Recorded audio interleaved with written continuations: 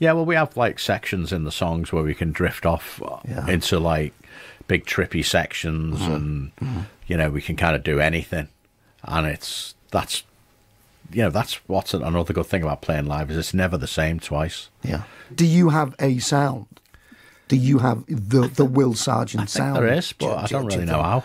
Yeah. You know, um, it's kind of a lot of echo and reverb and stuff like that. You know, I like to I like effects. How many guitars do you have now? You must. Oh, you, you- God. You, collect them, don't you? I don't collect them. I just sort of acquire them somehow. that sounds like you've nicked them. Well, I've acquired them. People have acquired my guitars. Tell you that. have you lost Yeah, guitars yeah, over the years? guitars been nicked. Have you? Where from? Uh, well, I left one at him in McCulloch's house, and I never saw that again. Right. Uh, but that was when during that breakup period, Yeah, so yeah, it's kind of yeah, like, oh, I'm yeah, going back for that. Yeah. And that was a nice one. It was a 1960s pre CBS Fender Hmm. Jag, salmon pink, Salmon original pink. colour. Wow. And uh, yeah, it's the one that's on the inside of Crocodiles, playing on the inside of Crocodiles on the inside cover photo. That went missing.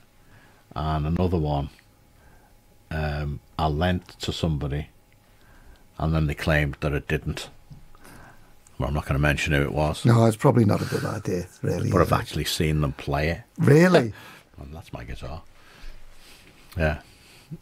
I felt the need to jump up on stage. You know, Yeah. Might just load a mobile phone. But the you thing don't, you don't wanna is, like, you know, if he'd have said, "Can I have that guitar?" Yeah. because it was only like it was one that I was given anyway. Yeah, I'd yeah. probably say, "Yeah, you can have it." yeah. What What's But the I one? don't like. What What's the one that you would uh, you, you would go to, to the ends of the earth to save? What What's What's the guitar? What's the one that you just think this is this is this is my best mate?